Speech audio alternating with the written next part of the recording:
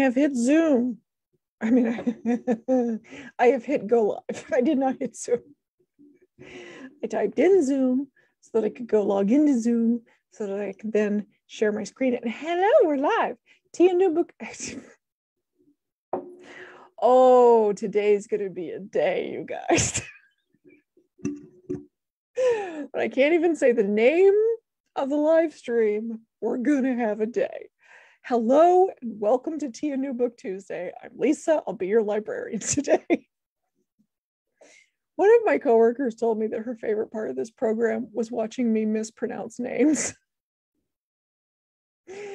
and uh, uh, like a couple weeks ago, I was in Arizona with visiting a family friend with my mother, and uh, we got a karaoke mis- machine and we're singing and my mom was deliberately singing the wrong lyrics which was funnier than it sounds. And i just was watching this and thinking this is this is really kind of charming. This is why everyone thinks it's charming when i do things wrong. I thought it was because i was a know-it-all and i think it's in fact just a weird skill i've inherited from my mother I don't know. I'm rambling, but let's get into the program. Uh, don't know what any of that was about. oh, all right. Today we are going to talk about January science fiction, fantasy, and horror. All of these books are already pre ordered by Mobile Public Library. Many will arrive, or sorry, I should say, many have already arrived, but they will be released if possible, to be checked out on their release date. you understand this. Most of you have seen this, so maybe I shouldn't bother explaining it because I'm not making a whole lot of sense. I swear to God, I've had like that much caffeine and then chamomile tea. I had sugar, but I always have sugar. I have lots of sugar. Um, I did have like real chocolate. I can't long story, but I'm going to make it short as humanly possible. I can't eat dairy, um, but it's not a severe problem. It's just a sort of, mm, I'm going to have problems in a couple days. So I'm pretty good 90% of the time, but it's Christmas and it's really hard to behave on Christmas. It's like trying to diet, especially this week. This week, I'm just like, whatever. It's, it's, the library's going to be closed Thursday, Friday, Saturday, Sunday. I'm going to be at home opening presents and enjoying my family. And I have like a day and a half more of work left, but I just, how much I can make myself do is a question. How did I get off on this tangent? What am I even talking about? I was trying to tell you something. This happens all the time. Oh man. I wish you guys could respond because I'm sure you're all just like, you were you were talking about this. We're talking about not getting things done.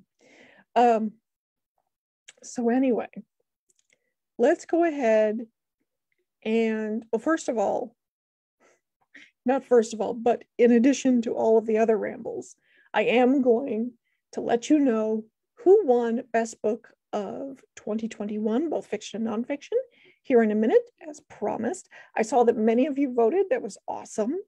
We got a decent number of votes overall. But first, we have to do your favorite part of Tea and New Book Tuesday and mine, which is the giveaway. If you watched last week, you'll already know the new shebang, the new way we have to do this, since Facebook is being Facebook about things and has started messing with the comments. So instead, I'm going to have, I have a link in the description and I'll put it in the comments as well after the video is done. But the link will take you here. It lets you give me contact information, what MPL location you want for pickup, and then you get to choose from the four books for this week. You can choose up to one. I will pull a winner tomorrow, Wednesday at around noon. Uh, I also have all of these leftover books. So if you want any of those, let me know. Um, a lot of people picked the same books last time. So that ended up being a drawing situation as well. But at any rate, that's how you win these books. And then once you send it to me, I'll have your response because that's how responses work. And uh, and I'll send out books starting tomorrow afternoon, literally afternoon. Um, bear in mind, some of it might get there if you're picking up at a location other than Main. Some stuff might make it on Wednesday, but I think it's way more likely to expect to be able to pick them up on Monday or Tuesday of next week. Just because that's sort of how our transit is working right now. Uh, am I still sharing? I don't need to share. I've shown you the screen. Get out of there. Okay, so let's talk about this week's giveaway books. First up, we have A Spindle Splintered by Alex E. Haro. This is a modern retelling of Sleeping Beauty, I think, and not a terribly long book. It looks interesting. Sleeping Beauty. Wait. Okay, so this is their description from the back. USA Today bestselling author Alex E. Haro brings her patented charm to a new version of a classic story, splicing the threads of the Sleeping Beauty stories. Sleeping Beauty is the worst fairy tale, pretty much any way you slice it. It's aimless, amoral, and chauvinistic as S. Even among the other nerds who measured in folklore, Sleeping Beauty is nobody's favorite. The romantic girls like Beauty and the Beast, vanilla girls like Cinderella, goth girls like Snow White. Only the dying girls like Sleeping Beauty. So that's as much of a description as we're getting out of them. That one. This came out in October. Next, we have a nonfiction option Walking the Bowl, a true story of murder and survival among the street children in Lusaka, Lusaka by Chris Lockhart and Daniel Mulilo Chama. This is based on years of investigative reporting and unprecedented fieldwork. Walking the Bowl immerses readers in the daily lives of four unforgettable characters. Lusabilo, a determined waste picker, Kapula, a burned out brothel worker, Munga, a former rock crusher turned beggar, and Timo, an ambitious gang leader. These children navigate the violent and poverty stricken underworld of Lusaka, one of Africa's fastest growing cities. When the dead body of a 10 year old boy is discovered under a heap of garbage in Lusaka's largest landfill, a murder investigation quickly heats up due to the influence of the victim's mother and her far reaching political connections. The children's lives become more closely intertwined as each child engages in a desperate bid for survival against forces they could never have imagined. Gripping and fast paced, the book exposes the perilous aspects of street life through the eyes of the children who survive, endure, and dream there. And what emerges is an ultimately hopeful story about human kindness and how one small good deed passed on to others can make a difference in the face of seemingly insurmountable odds. So that's Walking the Bowl, the sole nonfiction. It's been added. This is a different color cover than the one that I've used on the giveaway form. And that's because it this is this was uh, sent out before they had settled on a cover, but it's Dare to Know by James Kennedy. So this is fiction. Our narrator is the most talented employee at Dare to Know, a prestigious company in the death prediction business. But when he has mastered the art of death, the rest of his life is an abject failure. On the day we meet him, he is shaken by a near accident and decides to violate the cardinal rule of his business by forecasting his own death day. The problem? Apparently, he died 23 minutes ago. I think we discussed this one when it was coming out, which was back in September. Some unknown date in the past, September, I think. Uh, but it looked interesting there looked interesting back then. So that's Dare to Know by James Kennedy. And this is the sole pre release. This comes out January 4th and is on a bunch of lists of books people are really anticipating in 2022. It's The School for Good Mothers by, what do we think? Jasmine? Jessamine? Jessamine. Jessamine Chan. Okay. Oh, it's all quotes. I hate it when they do that. Okay, so here we go. Frida Liu is struggling. She doesn't have a career worthy of her Chinese immigrant parents' sacrifice. She can persuade her husband, Gus, to give up his wellness obsessed younger mistress. Only with Harriet, Harriet their cherubic, cherry, cher, cherubic daughter, does Frida finally attain the perfection expected of her. Harriet may be all she has, but she is just enough. Until Frida has a very bad day. The state has its eyes on mothers like Frida, the ones who check their phones, letting their children get injured on playgrounds, who let their children walk home. Because of one moment of poor judgment, a host of government officials will now determine if Frida is a candidate for a big brother like institution that measures the success or failure of a mother's devotion. Faced with the possibility of losing Harriet, Frida must prove that a bad mother can be redeemed, that she can learn to be good. A searing page turner, in The School for Good Mothers introdu- introduces in Frida and Every Woman for the Ages, using dark wit to explore the pains and joys of the deepest ties that bind us. Chan has written a modern literary classic. hmm.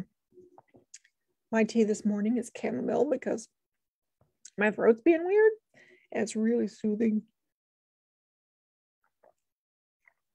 Mm. I just have some regular chamomile tea. That's the School for Good Mothers. Okay, so if you want any of these four books, fill out the form, uh, pick which book you're most interested in, and also if you see anything in the leftovers that you want, go ahead and click on a couple of those, and I will give out, I will inform the winners tomorrow afternoon and start sending them out around that time. Okay, so since I appear to have gotten my feet under me, and I'm not babbling like a crazy person. Although, you know, maybe that's what you come for. I don't know. Uh, let's go ahead and look at our slides and talk about, most importantly, who won Best of 2021. Let's get this, let's make it bigger. There we go. It's bigger. Okay. For TNM Book Tuesday.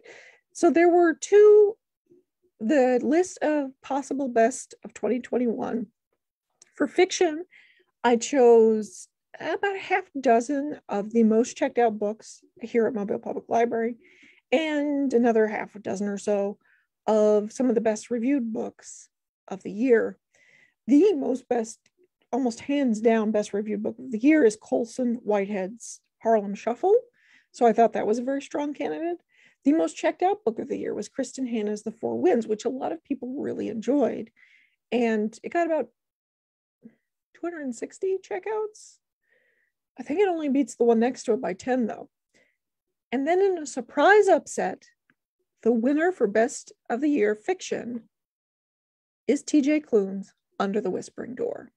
I didn't even get 50% of the vote because the vote was split all over the place. But the Goodreads Choice Awards, which is the Goodreads users voting on what the best books of the year are. Uh, this got the second place for fantasy. So, if you're uh, interested in TJ Klune's The Under the Whispering Door, a lot of people really enjoyed it, and we have many copies. The winner for nonfiction was less of a surprise. And exactly as it should be, it was Mobile's Porch Parade, the oldest carnival in America, celebrated in a new style. All right. Thank you to everyone who participated. That was fun to put together, and I'm glad you guys enjoyed it, hopefully. But let's go ahead and move on to this week's science fiction, fantasy, and horror, starting with some fantasy? science fiction? I don't know. You, you tell me what you think.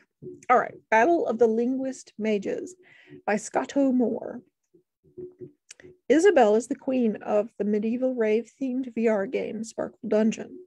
Her prowess in the game makes her an ideal candidate to learn the secrets of power morphemes, unnaturally dense units of meaning that warp perception when skillfully pronounced.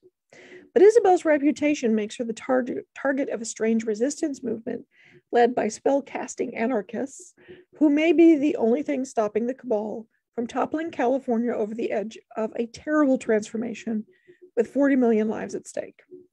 Time is short for Isabel to level up and choose a side because the Cabal has attracted much bigger and weirder enemies than the anarchist resistance, emerging from the dark and victorious and vicious dimensions of reality and heading straight for planet Earth. This got a starred review from Kirkus Magazine. If you're interested in the Battle of the Linguist Mages, it comes out January 1st.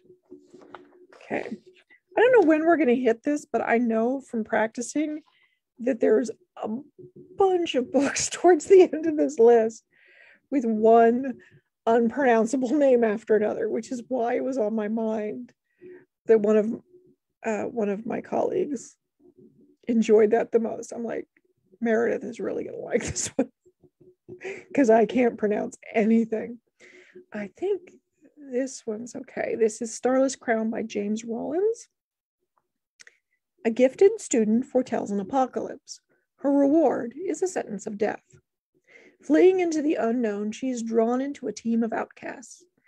A broken soldier, who once again takes up the weapons he's forbidden to wield and carves a trail back home. A drunken prince, who steps out of his beloved brother's shadow and claims a purpose of his own. An imprisoned thief, who escapes the crushing dark and discovers a gleaming artifact, one that will ignite a power struggle across the globe. On the run, hunted by enemies old and new, they must learn to trust each other in order to survive in a world evolved in strange, beautiful, and deadly ways, and uncover ancient secrets that hold the key to their salvation. But with each passing moment, doom draws closer. Who will claim the Starless Crown? I believe this is going to be the first in a series, and it has uh, the endorsement of Terry Brooks, according to the cover. But if you're interested in the Starless Crown, it comes out January 4th. Okay. All right. I think I'm pronouncing this name correctly. I'm probably wrong, but The Daughter of the Moon Goddess by Sue Lynn Tan, all of that was fine. It's the main character's name that I'm concerned about. It's spelled Z I N G Y I N. So I've been pronouncing it as Xinjin. Maybe? Okay. Growing up on the moon, Xinjin is accustomed to solitude unaware that she is being hidden from the feared celestial emperor who exiled her mother for stealing his elixir of immortality.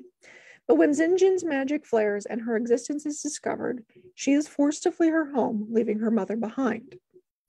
Alone, powerless, and afraid, she makes her way to the celestial kingdom, a land of wonder and secrets.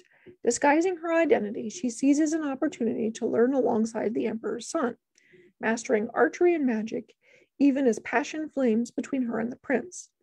To save her mother, Xinjin embarks on a perilous quest, confronting legendary creatures and vicious enemies across the earth and skies. But when treachery looms and forbidden magic threatens the kingdom, she must challenge the ruthless celestial emperor for her dream, striking a dangerous bargain in which she is torn between losing all she loves and plunging the realm into chaos.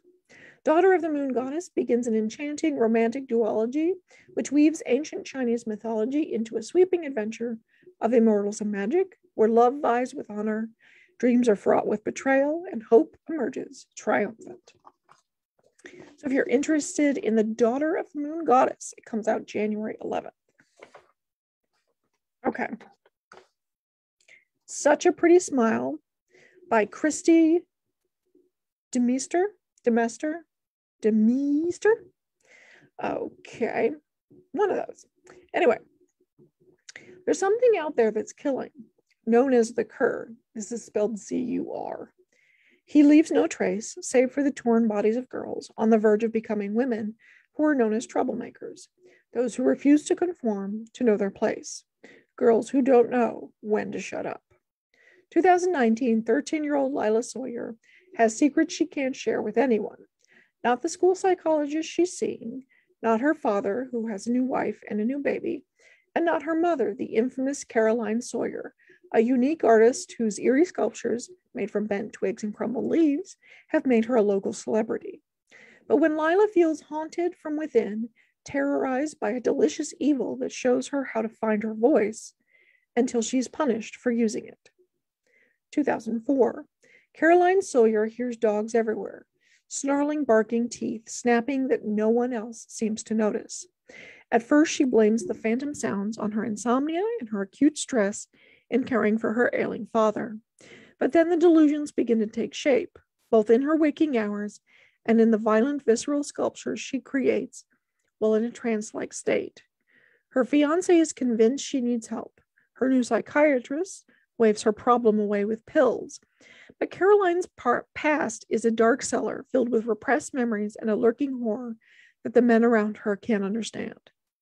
As past demons become a present threat, both Caroline and Lila must chase the source of this unrelenting oppressive power to its malignant core.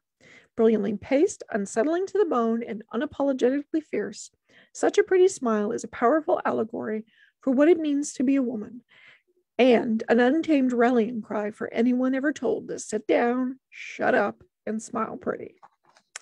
So if you're interested in such a pretty smile, it comes out January 18th. All right. Oh, yeah. Oh, yeah. I think we're in the scary names. We're into the scary names. All right. This is How High We Go in the Dark by, I think, Sequoia Nagamatsu. Maybe. Story begins in 2030. A grieving archaeologist arrives in the Arctic Circle to continue the work of his deceased daughter at the this is probably the name of a real crater, uh, Batagaika, Batagaika crater, where researchers are studying long buried secrets now revealed in melting permafrost, including the perfectly preserved remains of a girl who appears to have died of an ancient virus. Once unleashed, the Arctic plague will reshape life on Earth for generations to come, quickly traversing the globe, forcing humanity to devise a myriad of moving and inventive ways to embrace possibility in the face of tragedy. In a theme park designed for the terminally ill children, a cynical employee falls in love with a mother desperate to hold on to her infected son. A heartbroken scientist, searching for a cure, finds a second chance at fatherhood when one of his test subjects, a pig, develops the capacity for human speech. A widowed painter and her teenage granddaughter embark on a cosmic quest to locate a new home planet. From funerary skyscrapers to hotels for the dead to inter- interstellar starships, Sequoia Nagamatsu takes readers on a wildly original and compassionate journey spanning continents, centuries, and even celestial bodies to tell a story about the resiliency of the human spirit, our infinite capacity to dream, and the connective threads that tie us all together in the universe. All right, if you are interested in how high we go in the dark, it comes out January 18th. All right. Okay. I think I can do these names, but we shall see. Engines of Empire by R.S. Ford. The nation of Torwyn is run on the power of industry, and the industry is run by the guilds.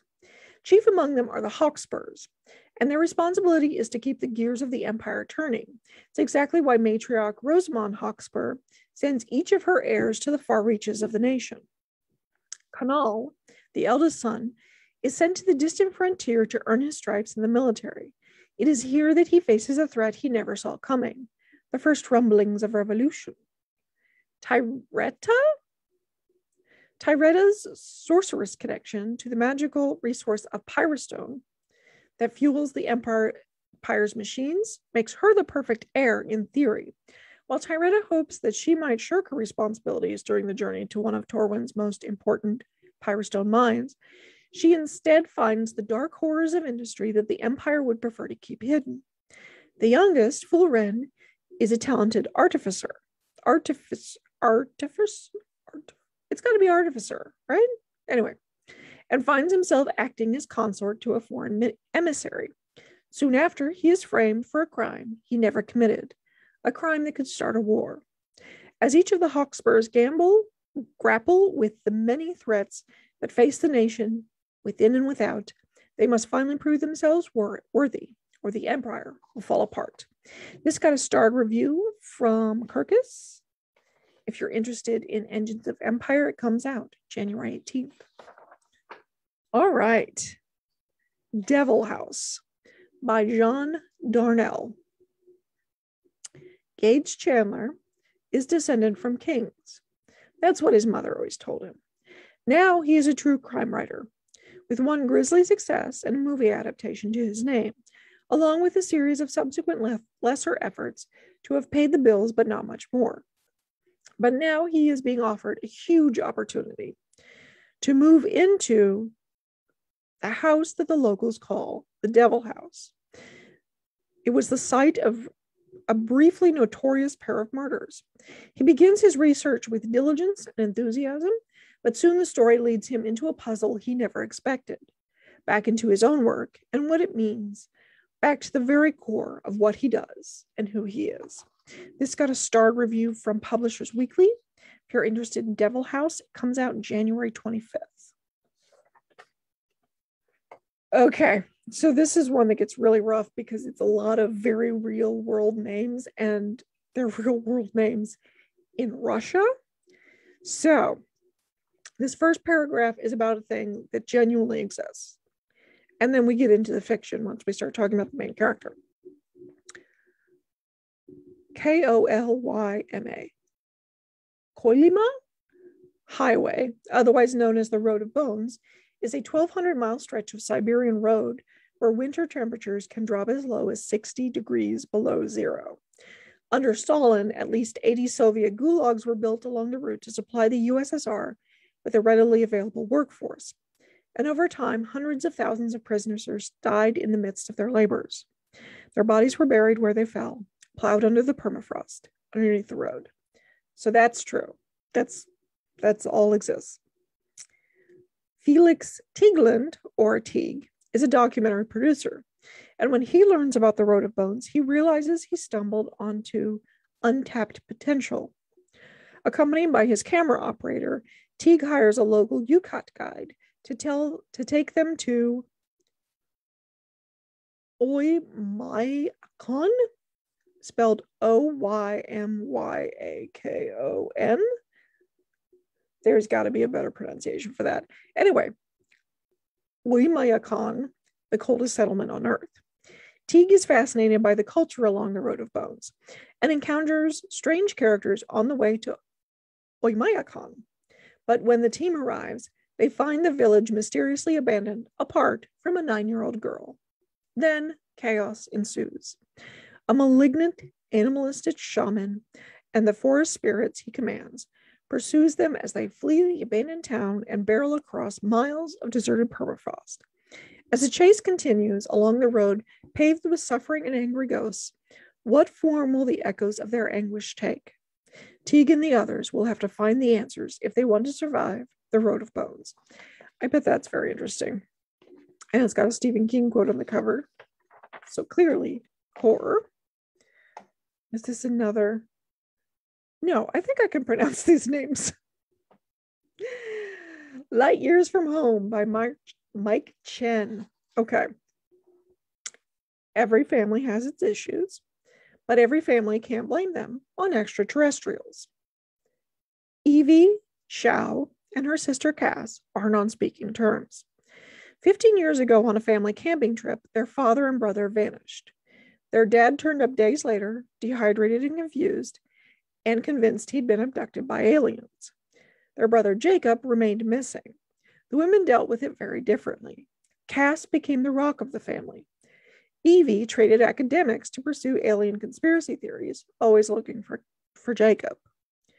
When Evie's UFO network uncovers a new event, she goes to investigate and discovers Jacob is back. He's different, older, stranger, and talking of an intergalactic war. But the tensions between the siblings haven't changed at all. If the family is going to come together to help Jacob, then Kass and Evie are going to f- have to fix their issues and fast. Because the FBI is after Jacob. And if their brother is telling the truth, possibly an entire space armada too. The perfect combination of action, imagination, and heart. Light Years from Home is a touching drama about a challenge as difficult as saving the galaxy, making peace with your family and yourself. This got a starred review from Library Journal. If you are interested in Light Years from Home, it comes out January 25th. All right, our final book of today, and effectively our final book of 2021. So, Hold My Place by Cassondra Windwalker. Okay. When librarian Sigrun, spelled S I G R U N, falls head over heels for the sophisticated and very mar- married Edgar Leeward, she never expects to find herself in his bed or his heart. Nevertheless, when his enigmatic wife Octavia dies from a sudden illness, Sigrun finds herself caught up in a whirlwind romance worthy of the most lurid novels on her bookshelves. Sigrun soon discovers Octavia wasn't Edgar's first lost love, or even his second. Three women Edgar has loved met early deaths. As she delves into her beloved's past through a trove of discovered letters, the edges of Sigrun's identity begin to disappear, fading into the women of the past. Sigrun tells herself it's impossible for any dark magic to be at play, that the dead can't possibly inhabit the bodies of the living, but something shadowy stalks the halls of the Leeward house, and the lines between the love of the present and the obsessions of the past became increasingly blurred and bloody. If you are interested in Hold My Place, it comes back comes out January 25th. All right. That is it for me today and for 2021. I will be back on January 4th with February's um, hits, like, you know, the hot titles of February. Don't forget to enter the giveaway. I will add the link to the comments as soon as I log off here. And you can also join our Goodreads group if you like. We've got all of our books in there. Or you can sign up for the Tea and New Book Tuesday newsletter, which also contains all the books I'm going to discuss today. So I will see you guys in two weeks when we talk about February's hits. All right. Bye.